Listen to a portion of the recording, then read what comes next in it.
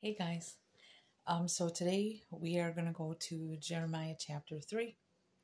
And so let's open up in prayer. Lord Jesus, you are amazing.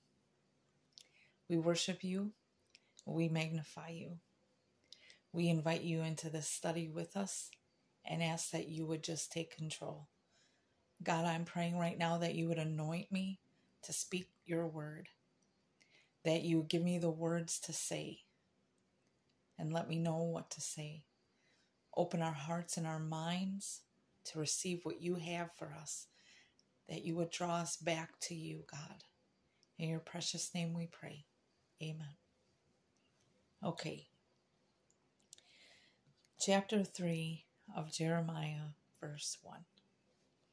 They say, If a man put away his wife, and she go from him, and become another man's.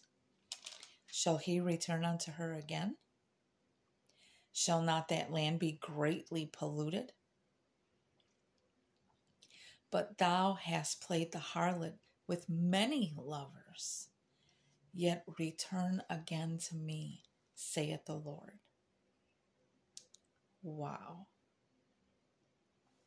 So God is saying that if a man divorces his wife because she committed adultery. And then she goes out and finds another man. Do you think her first husband would take her back afterwards? No. And God is saying, But you, I divorced you for adultery. And you went out and found all these people to sleep with, commit adultery with. But I want you back.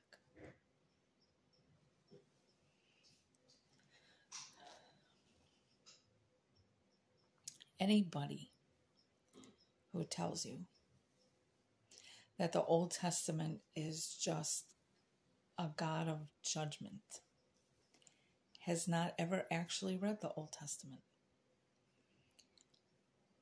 We find, and we're going to find, that God is utterly broken.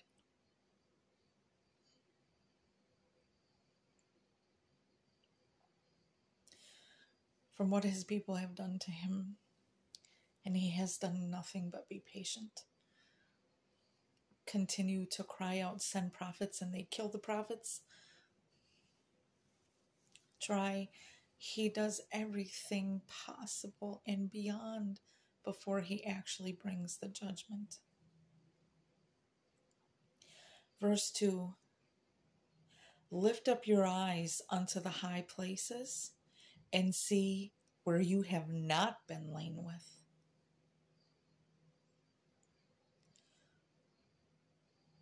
Where didn't you sleep with somebody?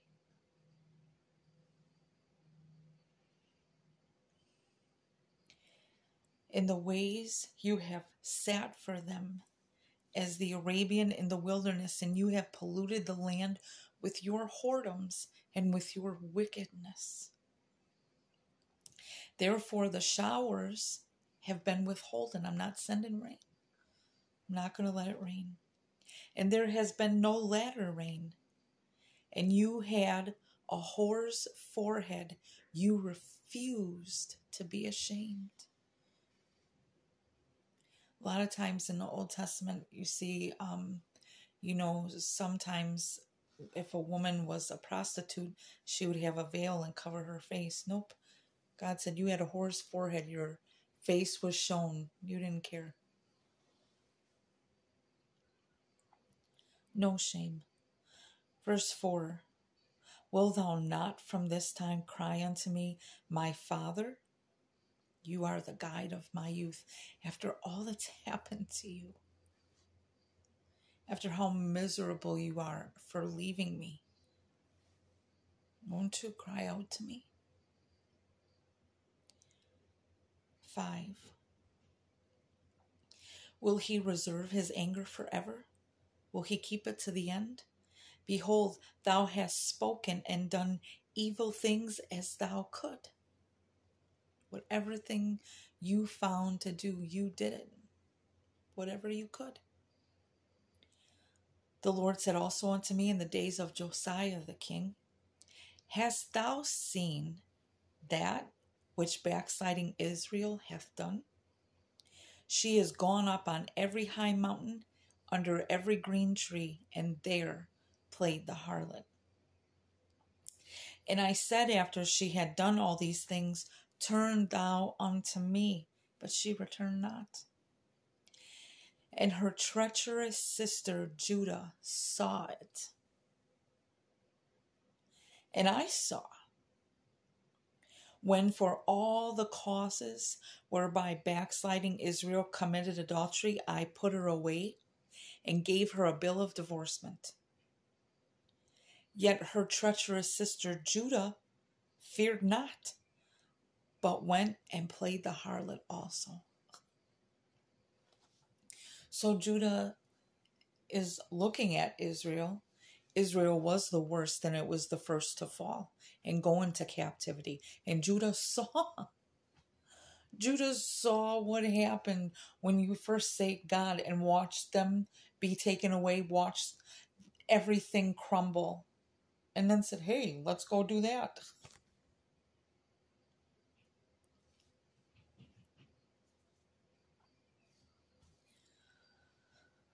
And it came to pass through the lightness of her whoredom that she defiled the land and committed adultery with stones and stocks, okay, tree trunks.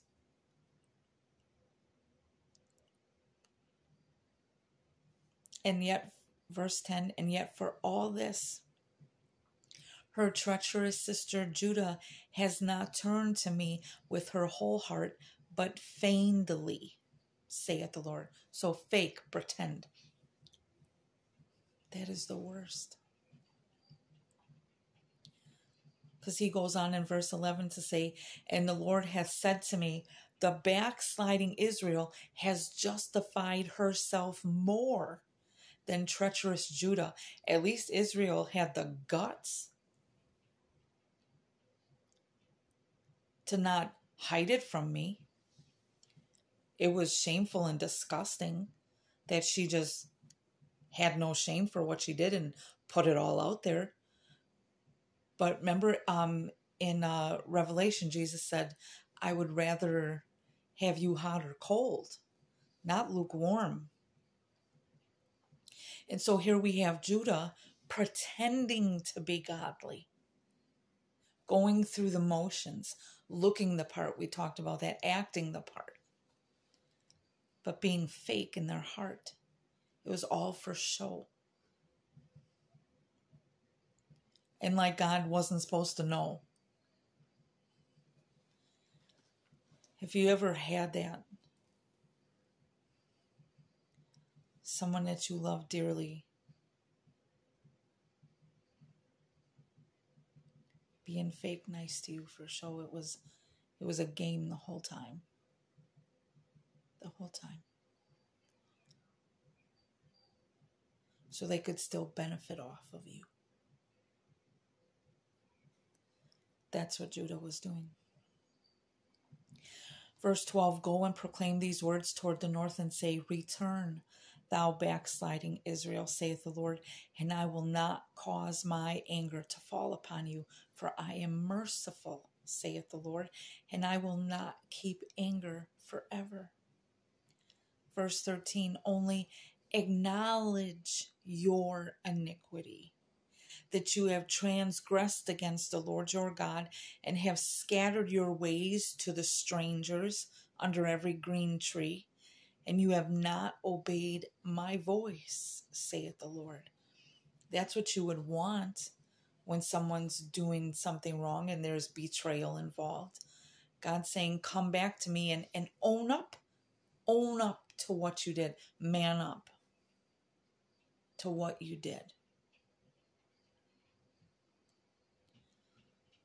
Verse 14 Turn, O backsliding children, saith the Lord, for I am married to you. Now, watch.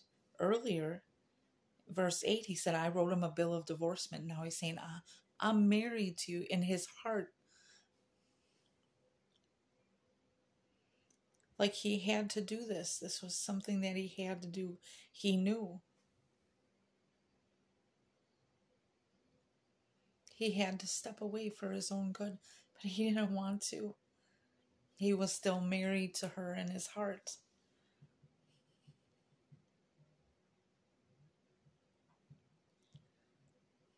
I am married to you, and I will take you, one of a city and two of a family, and I will bring you to Zion. That's Jerusalem. Verse 15, and I will give you pastors according to my heart that will feed you with knowledge and understanding. And it shall come to pass when you be multiplied and increased in the land, in those days, saith the Lord, they shall say no more, the ark of the covenant of the Lord, neither shall it come to mind, neither shall they remember it, neither shall they visit it, neither shall that be done anymore. So there's coming a time when people aren't going to go to Jerusalem to seek the Ark of the Covenant because God Himself will be there. It is the best thing of all. Hallelujah, Jesus. When we no longer look for the trinkets and the treasures and the things, but we look for God Himself. He is the treasure. Verse 17 At that time they shall call Jerusalem the throne of the Lord, and all the nations shall be gathered unto it. To the name of the Lord to Jerusalem, neither shall they walk any more after the imagination of their evil heart. In those days, the house of Judah shall walk with the house of Israel, and they shall come together out of the land of the north to the land that I have given for an inheritance unto your fathers. So he's going to fully reunite the kingdom, take the two sides, and make them one. Hallelujah. Verse 19 But I said, How shall I put thee among the children? and give thee a pleasant land, a goodly heritage in the host of nations.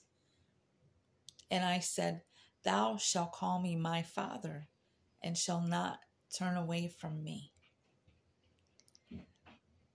Surely, as a wife treacherously departs from her husband, so you have dealt treacherously with me, O house of Israel, saith the Lord. A voice was heard upon the high places, weeping and supplications of the children of Israel, for they have perverted their ways. They have forgotten the Lord their God. Return, you backsliding children, and I will heal your backslidings. Behold, we come to you, for you are the Lord our God. Hallelujah. Verse 23 Truly in vain is salvation hoped for from the hills and from the multitude of mountains. Truly in the Lord our God is the salvation of Israel. For shame has devoured the work of our fathers from our youth. Their flocks and their herds, their sons and their daughters, we lie down in our shame and our confusion covers us.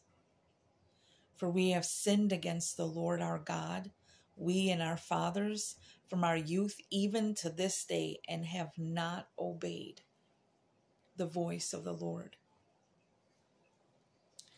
Hallelujah. That is Jeremiah speaking. As the prophet, he is interceding for the people and confessing their sins. Daniel did this also, and I want to tell you that it is an immensely powerful thing to be an intercessor and to intercede for people. Um, and just pray for them. You know, um, I want to share an idea with you that's so powerful. Um, really, in the vein of being an intercessor, they say standing in the gap. It's just um, praying for someone who is away from God or not in right standing with God. And so there were times um, in the Bible times that all the land was divided up and there, you know, were had like fences around the property and sometimes um, there might be, you know, a part that's broken down and so thieves can get in, wild animals, and cause a lot of damage. And so when you stand in that gap, you are standing there. There'd be someone that would come and guard it until they were able to come fix it and make it better. So we stand in the gap and protect these people and pray for their souls, plead for their salvation until God comes in. Hallelujah. And so, um, you know, I want to share this idea with you because the Lord gave it to me and extremely powerful. You know how um, the Bible tells us that Satan is the accuser of the brethren. So he goes before God and he accuses us, reminds God of all the things that we've done wrong. Two can play that game. You know? So, if the devil can remind God of everything someone has done wrong, we can remind God of everything someone's done right. So, what I started to do is I took um, examples. I took um, the man that I love and our two boys, and I made lists of all the good that I know that they've done.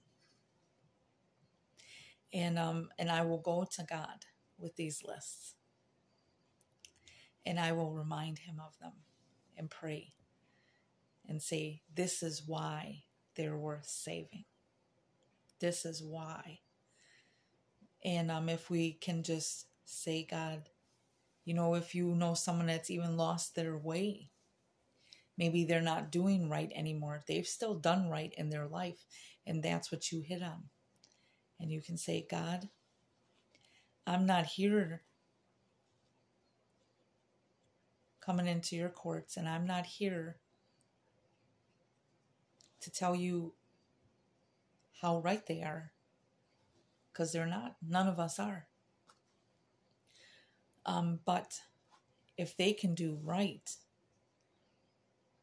when they had all this trouble going on, imagine the right that they'll do when their heart is right with you. And you will remind God why He chose them, why He saved them. And in the doing that, it strengthens the love in your own heart for them when you get the heart of the Father in you for them. And you fight and you plead for souls. Because if the devil has access to God, we need to be up there fighting too for the people that we love. And we can see how God was continually going, turn backsliding children, turn. He was continually pleading for them.